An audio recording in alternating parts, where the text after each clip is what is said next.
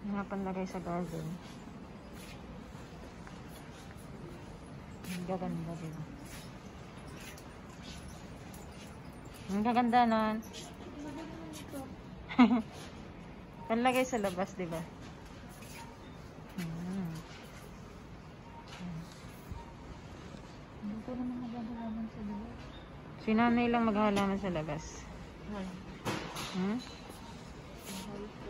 Halos pala. Quatro. Ang cute na. Cute nga niya, Buddha din eh. Yung owl. Parang totoo, no? Napamlagay sa garden. Binigyan ko nga niya ng ibig